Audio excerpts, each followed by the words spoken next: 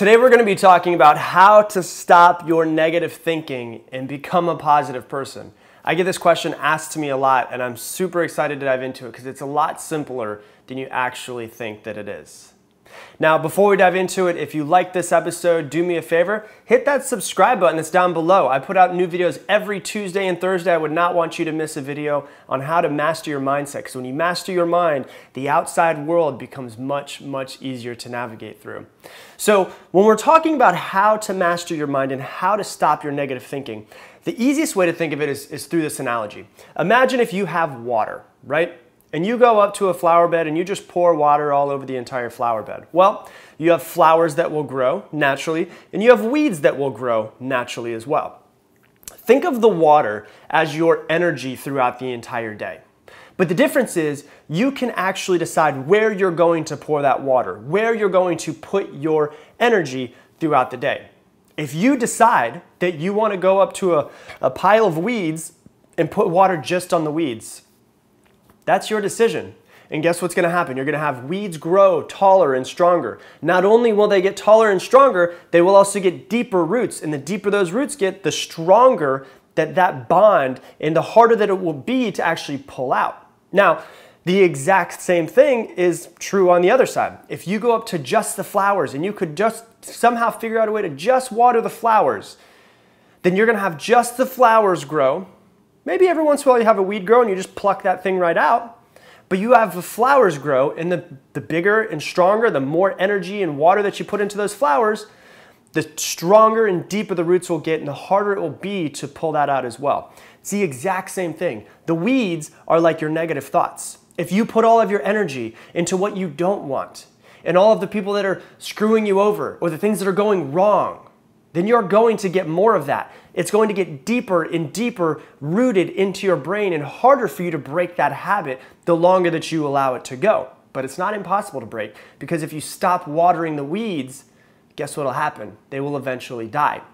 If you stop putting your energy into all of the negativity, you'll stop thinking negative. And so what happens is if you go and you put all of your energy into the positive thinking, just like the flowers, the roots grow deeper, they become stronger, it becomes easier for you to think positive. Now, I don't want you to think that because of the fact that you're thinking positive, I'm saying, hey, don't think about the negative things in life. Because a lot of people are like, well, positive thinking is a bunch of BS because there's a lot of negative things and you need to think about them. I agree with that. But I think that the more positive of a person that you are, the stronger that your roots and your brain are, uh, the deeper that they go in positivity, the more suited that you can go and deal with the negative things. if you're a negative person, well, then it's hard to deal with negative things because that's all you think about. But if you're a positive person and you can put a positive spin on the negative things or find a way to make those negative things positive, or at least say, this thing was really bad and it happened. How can I figure out some sort of way to turn this into a positive, right? The example I like to give that really changed my life when I realized this was when my, my father passed away when I was 15. He was an alcoholic. Long story, don't need to get into it, but he was an alcoholic. He passed away when I was 15. And I remember three weeks after it happened, my mom asked me about it. And she's like, So, what are your thoughts? You know, and wanted to see how I was feeling. And I said, If dad knew how much good is going to come from this because of how much I'm going to change my life, I think that he would be okay with passing away. Right? I was determined to take the worst thing that ever happened to me in my life and put a spin on it.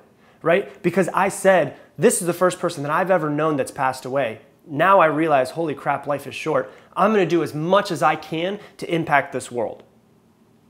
That's taking a negative and putting a positive spin on it. The more positive that you are, the more that you can put positive on something negative that happens to you.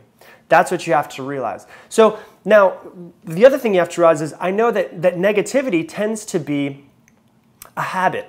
You start to notice yourself going down that path of negativity right? If you notice yourself watering the weeds, putting your energy into the negative, what you do is you snap out of it. As soon as you notice it, you go, oh my God, I'm watering the weeds.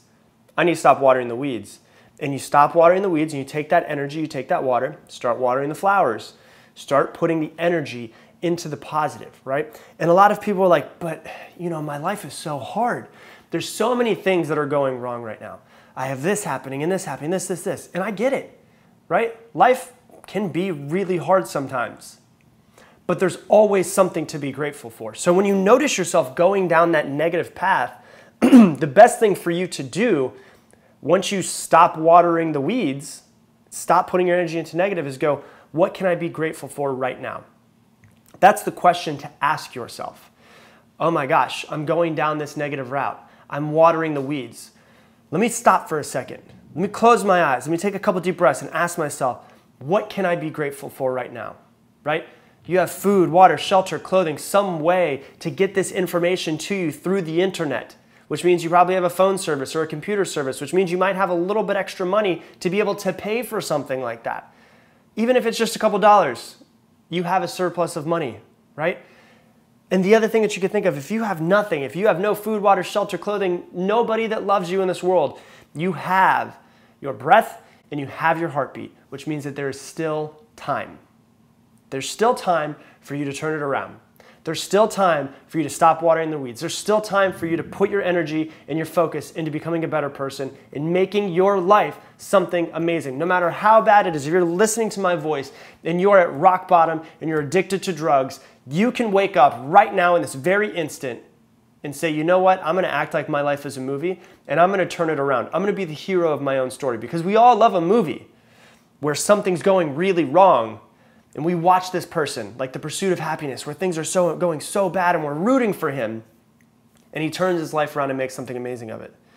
Right? Pretend that you're in that situation. You're in the rock bottom, but the crowd's rooting for you to turn it around. So no matter where you are, there's always something to be grateful for.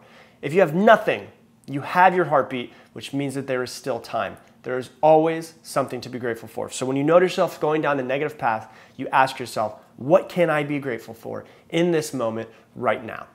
And that is the key to being positive, is to not ignore the negative, but to stop putting so much energy into the negative and stop watering the weeds and you start putting energy into the positive and watering the flowers. So if you like this video, once again, I put out videos every Tuesday and Wednesday. Go ahead and hit that subscribe button that is right here so that you never miss another one of my videos. If you like this, hit the like button. If you have any questions, I love to answer questions. Put them down. I try to answer questions whenever I get a chance. Put them down below. Let me know that you're here. Don't just be one of the creepers that sits in the back and watches the videos and never and engages with the stuff. And if you're curious as far as events that I do, coachings that I do, all of those things, you can hit my, uh, down below, you can hit the, the the website button that's down below and see what else I got going on. So I appreciate you for watching this, and I'll see you on the next one.